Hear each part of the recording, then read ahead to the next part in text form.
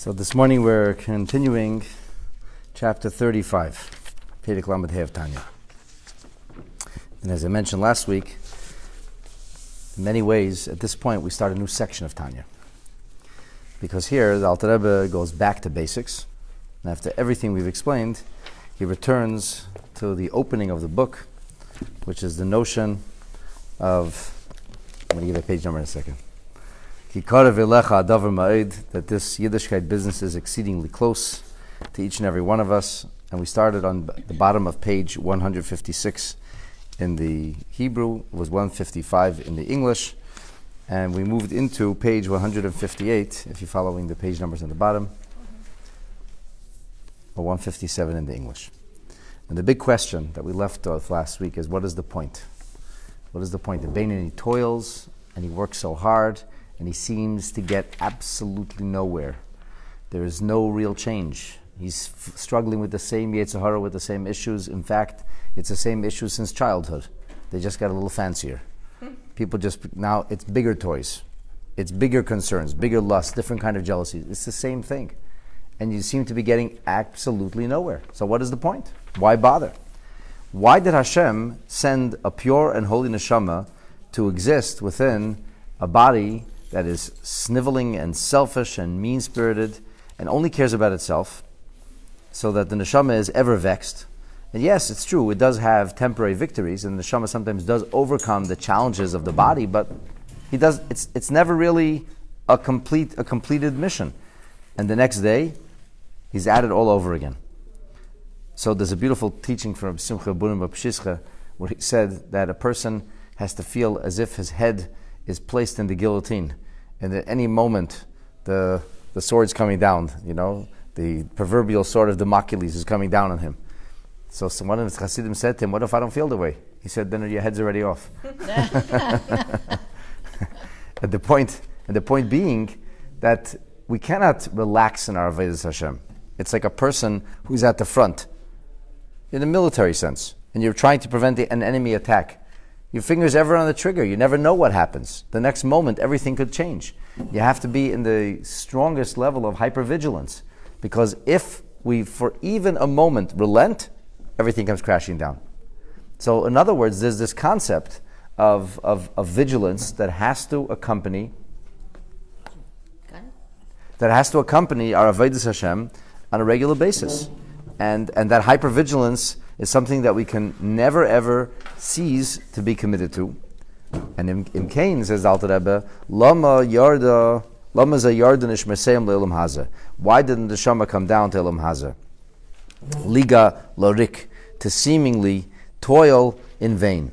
Chas v'shalom. Lihilachim kol yemehem, to battle all of their days, imma yetzer, with the Yetzer Hara, but you can never defeat the Yetzer Hara. So what's the point?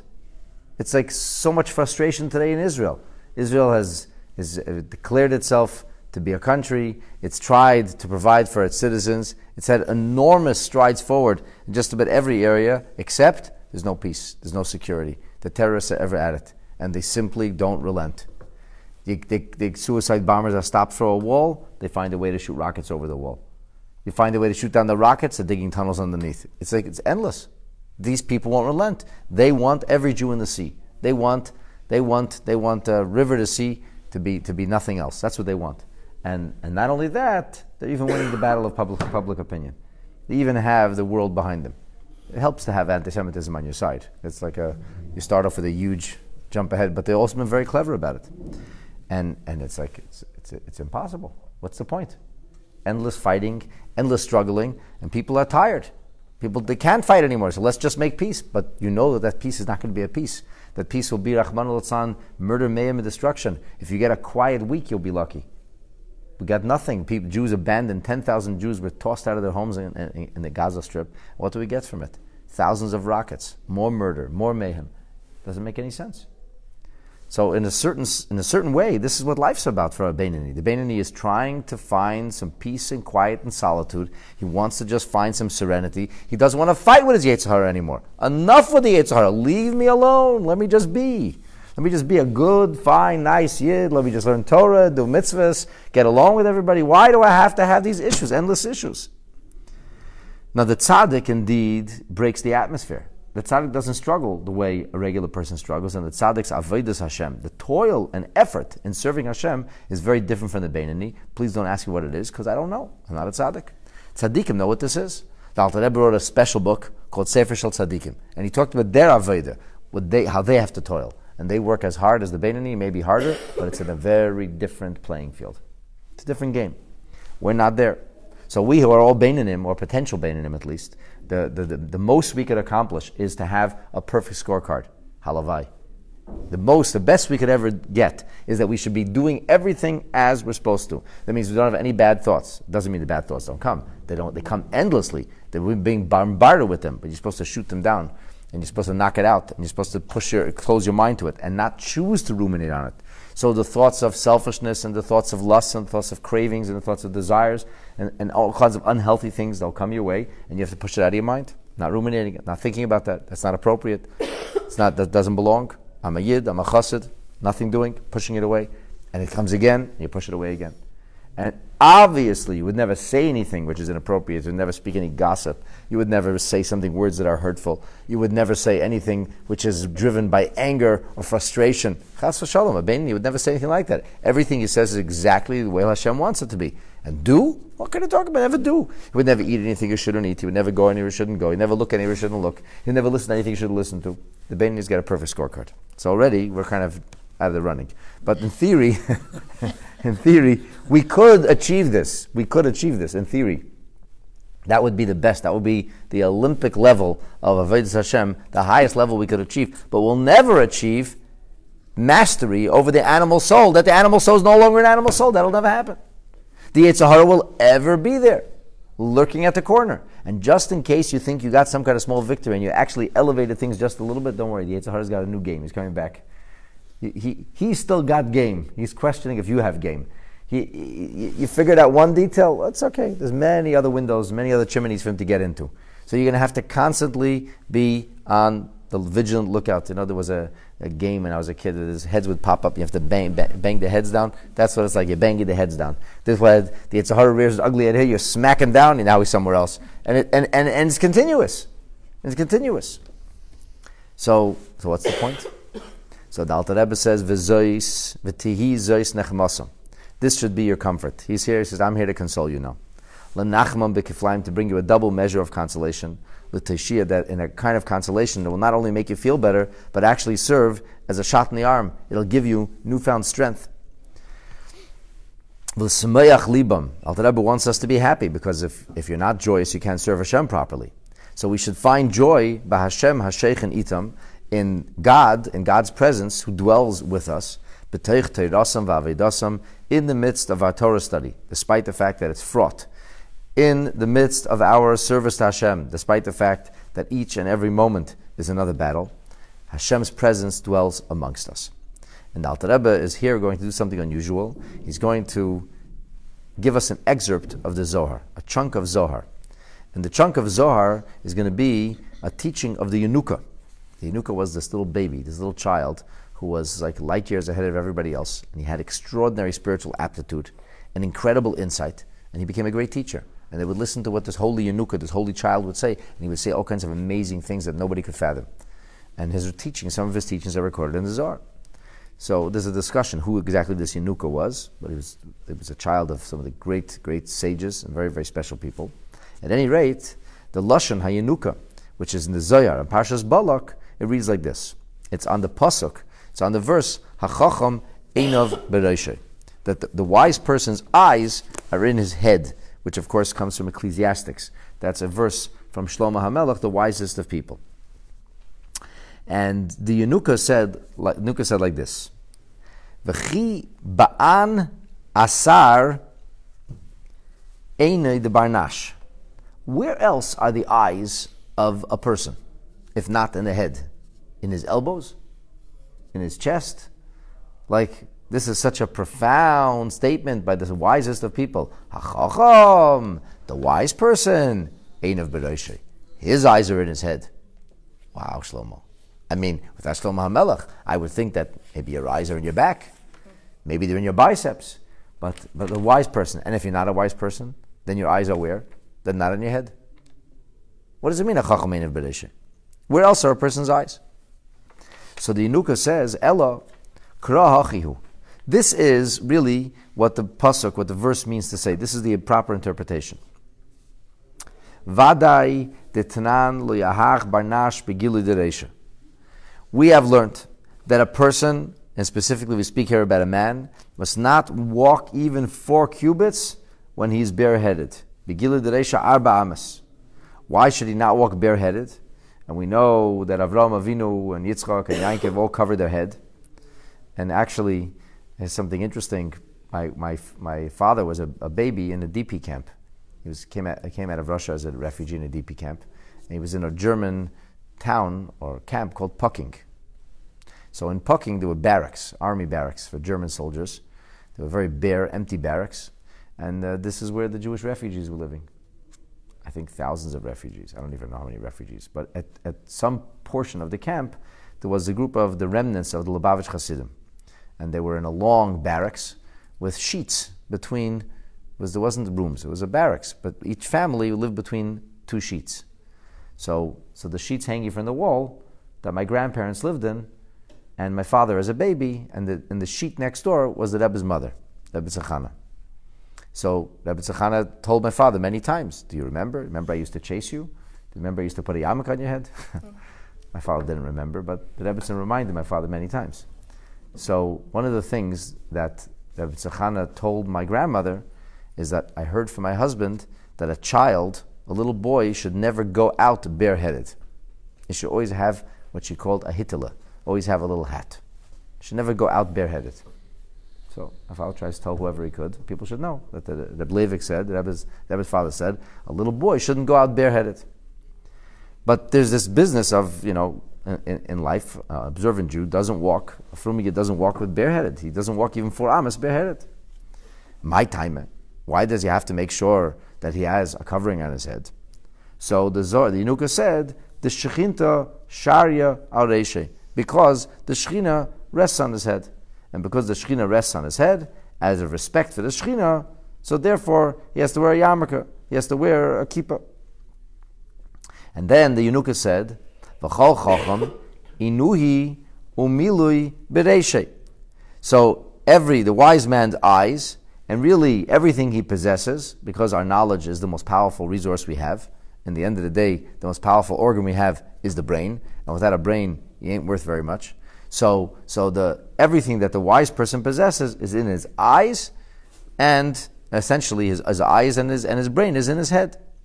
In other words, inon bahahu the sharia v'kaimal In other words, that that he must in, in his head is where the shechina is. Now, the shechina, when we talk about the shechina, the shechina means consciousness. So the consciousness that a person has, appropriate consciousness, is, is the Shechina. That's, that's how you can have God in your life. You can have God in your life when the Shechina is in your head, when you, so to speak, have an elevated state of consciousness, a state of awareness of Hashem's presence. So, kad inoi tamon linada da'ahuna heira da'adlik So he says the, that now if his eyes are there, which means he sees this, it's not literally, it's a figurative thing. You, you see this, you can, you can you grasp it, you understand it. So then he must know that the, there's the light that burns or shines above his head. Itzrich lemishcha. It needs oil. Begin the gufa, the barnash, iupsila, because the, the physical, corporeal reality of a person is metaphorized as a wick. V'nahoira adlik le'ela. It's a wick, and on top of the wick there's a candle that's burning, and the candle that's kindled above it, v'shloima malka tzavach v'amar, and Shloima HaMelech is crying out and saying, v'shemen al reishcha al yecheser. Make sure that there's always plenty of oil above your head. The hanahira de bereshe itzrich lemishcha, because the, can, the candle or the light on your head needs oil. Okay, what is the oil? And Shloh, he finished off the Nuka and he said, Ve'inun uvdan tavan. These are the good deeds. And that's the meaning that the wise man's eyes are fixed in his head. Ad kan. Here's where the quotation ends. All right. So looks like like most like most of Zohar. What in heaven does that mean? what, is, what does that mean? Pasuk says your eyes in your head. So the Yanuka said, where else would eyes be? He says, okay, here's what the thing is. You have to have, and have to know that there's a halo, there's a candle, there's a light that glows above your head. And Shlomo Melech says, have your eyes in your head, see this, see this reality, and make sure that there's plenty of oil at all times. So the first and obvious question is that we see here that the, this business of, of the Shekhinah, of God's presence, is metaphorized as a light, obviously a metaphor, and the body is metaphorized as a wick, and the oil is the good deeds. What's the obvious question we could ask? Why do you need oil, which is good deeds? In other words, to fuel the fire. Why can't? Why can't the neshama itself be the fuel? What do you need good deeds for? You have a neshama. Neshama fuels shechina. We have to keep having good deeds. Let's let's do a little further inside. Vihine. Bir mashal. The explanation of this parable, this metaphor that the Zohar gives us. Haner. That metaphorizes and compares the light of the Shekhinah, obviously a proverbial concept, not literal, euphemistic, certainly, to the light of a lamp. kipsila, it doesn't illuminate, it doesn't glow, it's not able to burn, shemen, without having oil.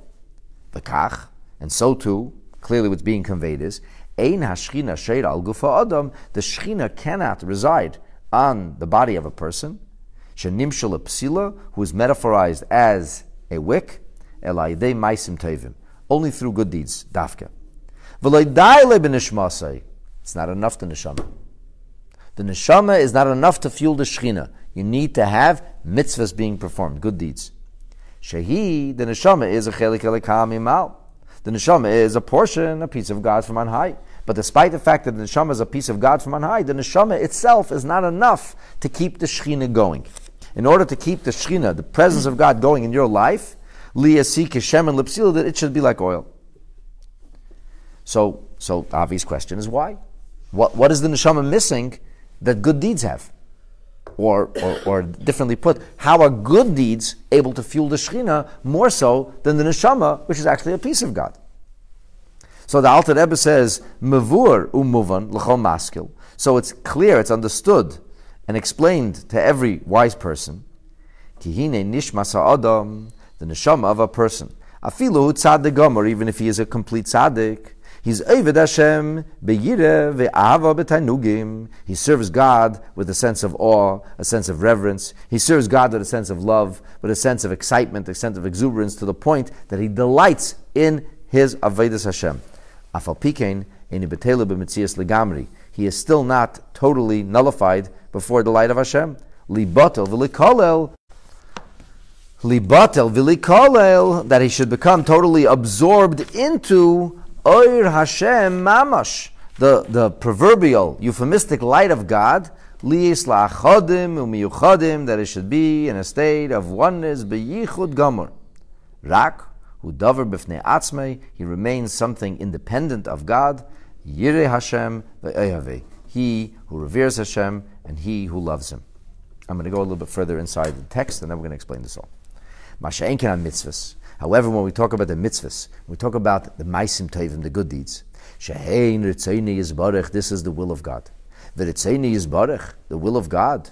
Hu moker hachayim l'chol oilamis. The will of God is what makes everything exist. Because God wills it to exist, that's why it exists. V'habiruyim, and all that is created, sheyered aleim.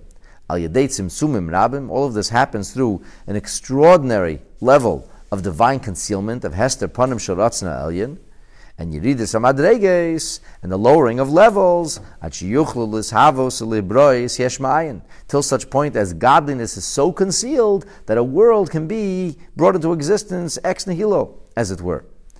They will not be totally eclipsed or overwhelmed by the presence of God, so that they're not able to exist independently.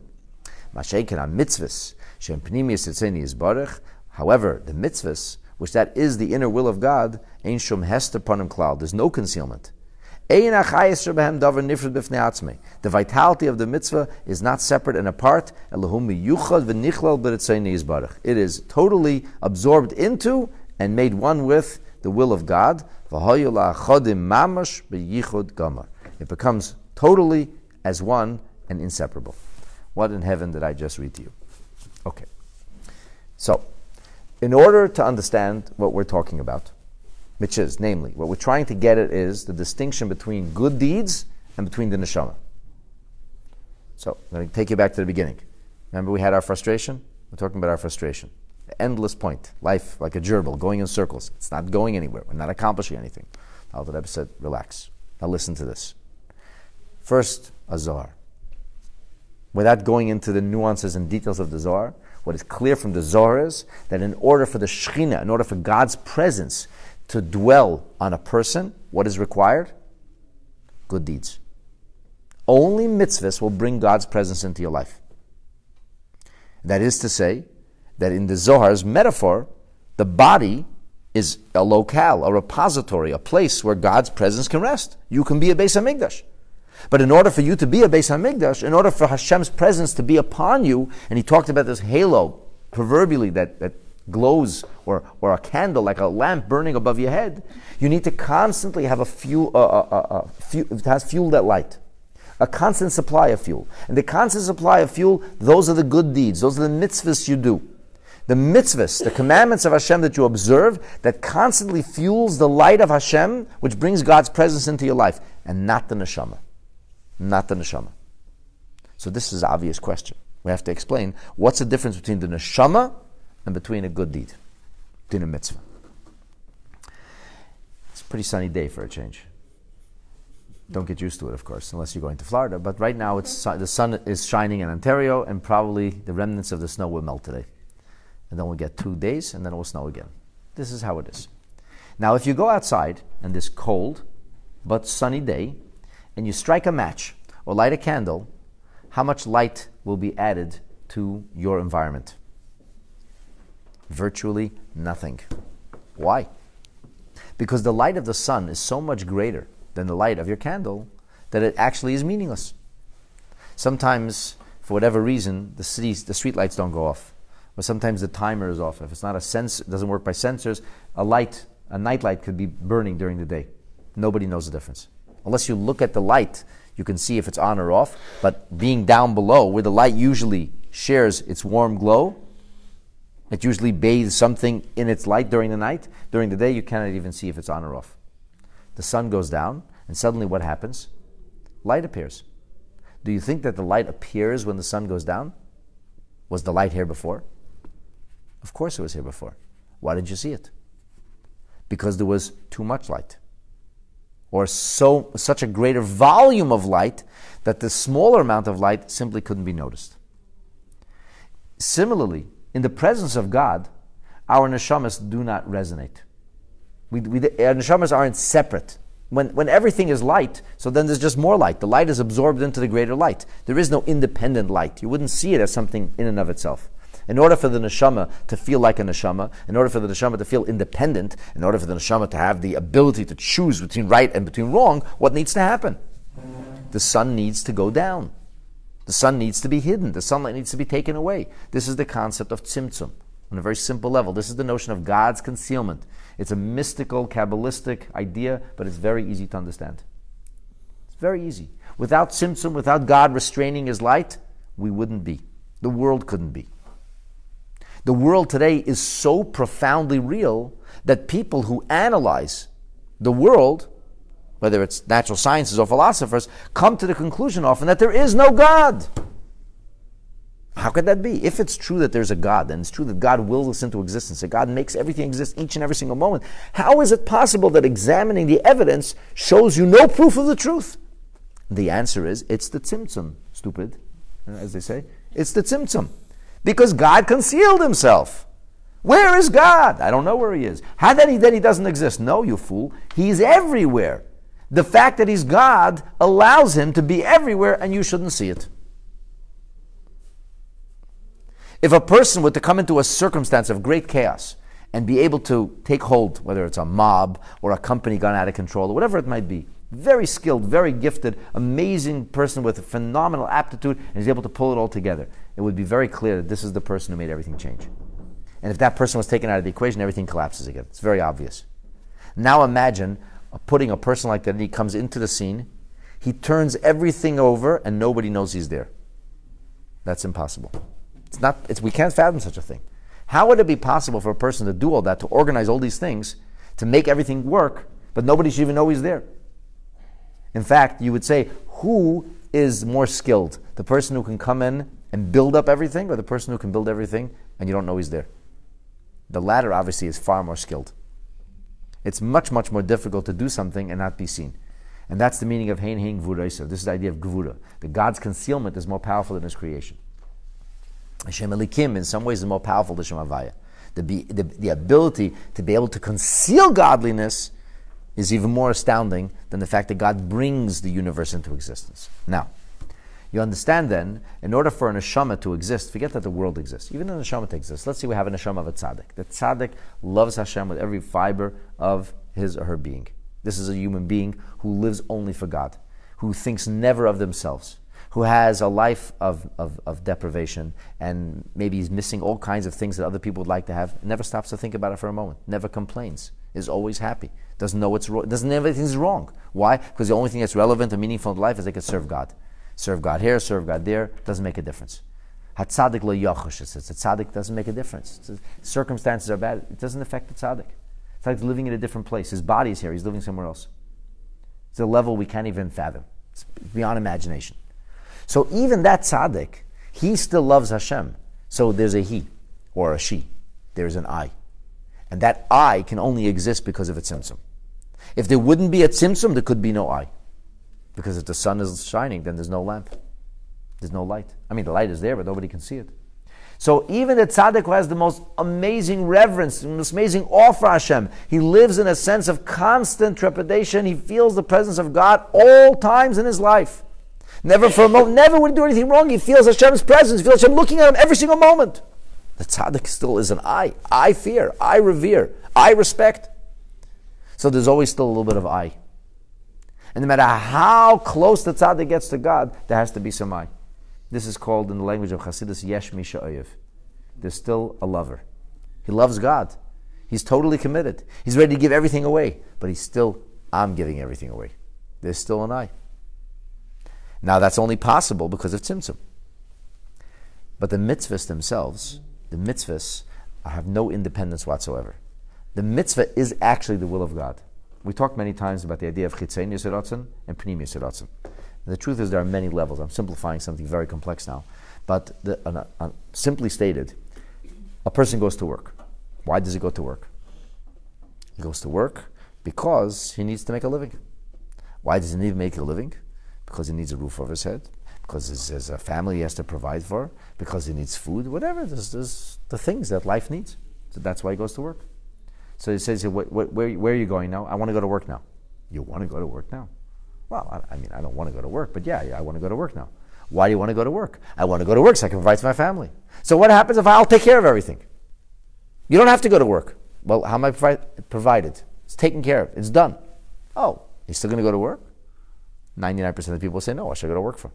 I only went to work. I didn't really want to go to work. I wanted to provide to my family. If I can find another way to provide to my family, then I'm not going to work. There's a ridiculous story that's told about uh, one of the Rothschilds was in Israel and he met a bum on the beach in Tel Aviv. This was like in the 1920s. And he said, Hey, bum, why don't you get, uh, get a job, get a life? And the guy said, Why would I do that for? He said, What are you talking about? You get a life, you'll, you'll, you'll have a house. He said, So? So you have a house, maybe you can get married, you have a family. So? And he keeps telling him all the things he's going to have if he has a job and he has a life. And, and, has, and then, and then, and then, and finally he says to the bum, And then you'll be happy. The bum says, I'm happy already. Why should I bother? I'm happy now. What, I have to work hard to be happy? Obviously, a ridiculous way to look at life. The point of the, of the story, though, is all these things are called chitzein yisratzen. What's pnimi yisratzen? What does a person really want? Person, let's say, really wants that inner joy and satisfaction. And here's the way he gets that inner joy and satisfaction. Here's the way he feels good. Here's the way he feels that he's actually made a contribution. It's all about ultimately feeling good. It's all about feeling fulfilled, which is the highest level of, of, of joy, really It's not, it's not uh, experiencing an artificial sensation which comes and goes, but rather it's a lasting joy. Like Yiddish and Nachas, you can't compare it. No candy tastes as good. Right? There's a Yiddish Nachas, a sense that you have family, you have children, you have grandchildren. That's, that's what life's about. Okay? It's almost indescribable. So when we talk about a mitzvah, we're talking about not chitzonius eratzen, but pnimius eratzen. So what does God really want with a whole, this whole creation business? What is the ultimate goal? What does God want right now, in fact? God wants right now from us exactly what we're doing. He wants us to be sitting and studying Torah. And in a few minutes, He wants us to be davening, doing a mitzvah. So the mitzvah that Hashem wants, at any particular time, in the night of Pesach, what does God want? He wants Yidden to be eating matzah. That's what He wants. Are they from? I don't know. The Rebbe didn't care. The Rebbe knew that in the night of Pesach, Hashem wants Yidden eating matzah. So what did the Rebbe do? He devoted every fiber of his being and every fiber of anybody who would listen to him to make sure that every Yid in the world should have matzah. Why? Because that's what Hashem wants tonight. He wants Yidden to eat matzah. And soon will be Hanukkah. And what does Hashem want? He wants a menorah to be lit. Every single Yid in the world. Huh? And Sufganiyot. Okay. uh, listen, I'm not going to laugh at Sufganiyot. It's a, it's a minhag Yisrael. Yes. And apparently the Sefer in the Rambam, the Rambam's father said that it has uh, great uh, prohibitions and it brings along a, no problem. Minhag Yisrael. Yes, all for Chanukah too. But that's for sure. What does Hashem want? He wants these things to be done. Now, does the menorah need to feel independent of God in order for it to be a mitzvah? The menorah doesn't have any feelings. The menorah is not a yesh mishayiv. It's not an I am now going to illuminate. The matzah is not I am now going to be champed It's, it is actually the will of Hashem. It doesn't require any tzimtzum. It doesn't require any concealment. It is straightforward, open, and overt the will of Hashem. And so this is what the Alter Rebbe is telling you. He's saying to the essence of creation, which allows the Shekhinah to exist, cannot even be the tzaddik. Can't be the neshama. Why? What happens to the oil that feeds the fuel, that fuels the, the light? What happens? The oil is fueling the, the light. What happens to that oil? It's gone. It's gone. It's gone. But if would it be good if the neshama was gone? That wouldn't be a good thing. The neshama can't burn up. The neshama has to still feel an eye. If you would get absorbed into divinity or get burnt into God, if the neshama is scorched and burnt, what's left? Nothing. That's Nadav and Avihu. Nadav and Avihu, the sons of Aaron, came with great fervor, got swept up into the Ketores. They became the Ketores. No good. No good. Hashem wants the neshama to be here. He wants the neshama to feel independent. He doesn't want the neshama to go into a, a, a feeling of spiritual ecstasy in which it takes leave of its, of, of, of, of, of its existence in a physical, literal way. But that exactly is the point then. In order for the neshama to be able to actualize, to bring the presence of God, it needs to bring something to the table that doesn't have to exist altogether on its own. And what's the only thing that can actually be burnt, that can fuel the fire to the point that it isn't? It's not a person. What is it? It's the Maasim Tovim, it's the mitzvahs. So you're saying, oh, what do I need all these mitzvahs for? Not that I'm saying the mitzvahs are what fuels the Shekhinah. That's exactly the point. Now, especially today, people want to have experiences, and people need to feel good about things. So, first of all, I don't feel it. I'm doing a mitzvah. it doesn't talk to me. It doesn't make me feel spiritual. So, what, what would you say to them? So it doesn't matter what you feel like. It's not about you. It's about bringing the Shekhinah into this world. And guess how the Shekhinah comes? When the mitzvah is performed. And if you do it with a greater sense of duty and a greater sense of obedience, that brings even more Shekhinah into the world. Because there's less I. You know, there's a very simple metaphor for this. Today you have food which tastes delicious and it's pure garbage. Call it fast food, call it candy, cake. It's garbage. It actually will destroy your body. If all you eat is garbage food, you literally will die years earlier. Literally. Because you can be, your body's barely being nourished. You could, you could probably starve to death on some of this food. You could eat uh, cotton candy and die of starvation. But you'd be very happy. Kid will keep stuffing his face with cotton candy, keep getting sugar highs, and body will be drained to the point where it has no nutrition whatsoever, and literally the body will die. The person will starve. So how does that work? How does that work? Because nutrition and taste have nothing to do with one another. Something could be very nutritious and not be very tasty, but it's very healthy and keeps you going. Something could be very, very tasty and have virtually no nutritious value whatsoever. So if a person wants to stay alive, wants to stay healthy, what does he need to do? You need to eat. Now, it's understood that if the food isn't tasty, people probably won't eat well. So that's the way God built us. We, human beings, in our limitations, will like to eat things which taste good and don't like to eat things which taste bad. So we don't want to just eat nutritious things, we want to eat tasty things. We want to have an appetite. No problem. No problem. The Aibishter gave you taste buds, and you're allowed to eat, and you're allowed to enjoy. Just make sure that it doesn't become the focus of life. And on Shabbos, that enjoyment is even a way to serve Hashem. All beautiful. That's great.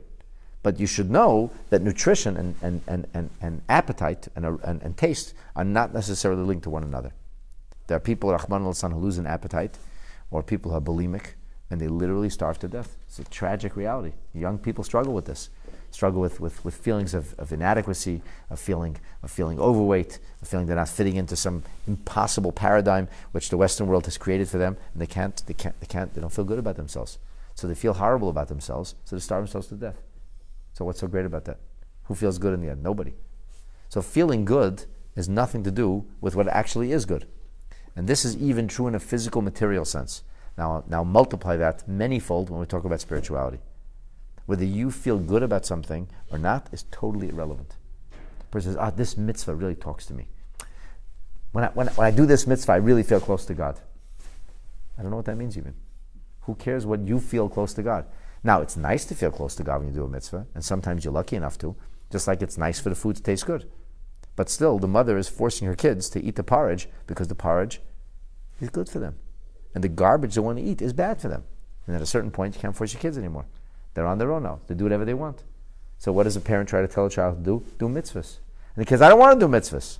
And what do you try to do? You try to give him a taste for mitzvahs. You try to give him a fervor, a, a, passion for mitzvahs.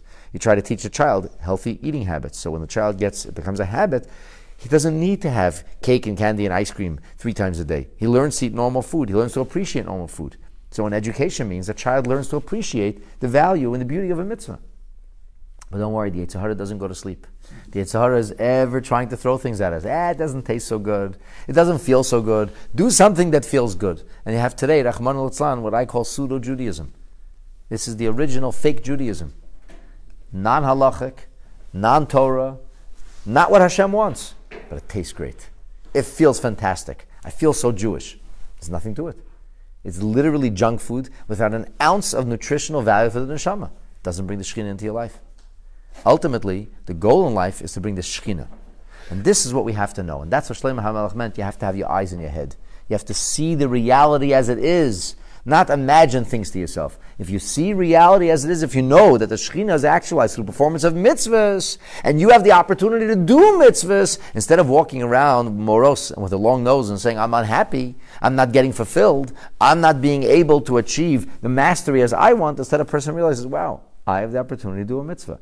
When I do that, the Shekhinah resonates within me. To be continued.